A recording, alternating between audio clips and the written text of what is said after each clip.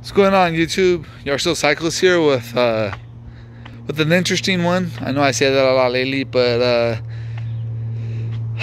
normally I stay away from these ones.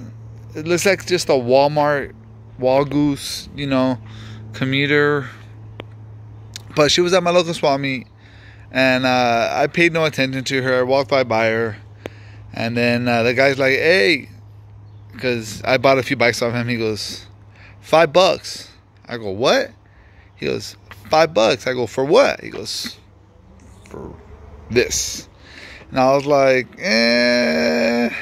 I'm like, I don't know. Because it didn't have the tires or the wheels when I saw it. It didn't have the wheels. And I was like, dude, it doesn't even have wheels. He's like, all throwing wheels. I go, for five bucks? Because, yeah. So I was like, ah. It's like, all right, for five bucks, I'll take a chance on it. Um, I should have passed, even though it's a five dollar buy. But let's run through her real quick. If anything, it's a five dollar video. It's uh start in the middle with the one with the one by setup. It's a one by seven, guys. Uh, mongoose, single speed. I'm sorry, one by crankset. The rusty old chain, followed by a seven. It should be seven.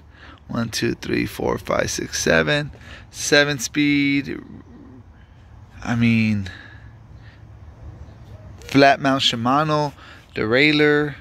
The rims are rusty. The spokes are rusty. She, I think she was a beach bike. Um, if you see a lot of stuff like this, usually a good example of she was in the beach and uh, the corrosion really gets them right there by the sand and the salt and all that really just corrodes everything. So uh, it's got a no-name rack which is pretty cool. Sometimes I buy racks alone for five bucks. So this alone, I I bought this and the rest of the bike was free.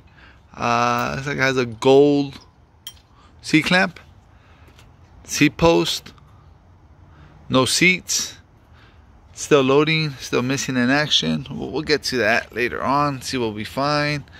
Uh, Zoom stem. Not sure if that's a Mongoose brand or but uh, I kind of like the bars. The bars are pretty cool. It's, I mean, this is going to be a straight commuter. Straight, just, you know, one by setup, commuter. Probably change the wheels or try to clean them up at least because that's a lot of rust. And it's going to be a hard sell with these wheels because of the rust. Uh, matching Mongoose tire. No uh, brake pads in the front rusty cable stop. I mean, the best, the safe money would be put a seat on her, get her barely rideable, and then sell it for 20 bucks. That's the safest thing to do. I'm not gonna do that because that's not what I do. You know, I like to when I sell them, I like to make sure. Huh, this one's loose. Uh, I like to make sure that they're uh, that they're in good shape. So I'm gonna go through her, probably put some new cables. I don't know why. Uh, a newer chain. Once again, that's just that's that's what I want to do. You know, when I get her back on the road, I want whoever buys her to be like, damn, I'm back on the road. I'm riding. This didn't go in the scrapyard, which some of you might think she belongs in the scrapyard, but uh, we'll see how she turns out. I'll see if I do a later video on her. But for right now, it's just a, a one speed, one by seven mongoose hybrid that you could buy at Walmart for probably 150 bucks.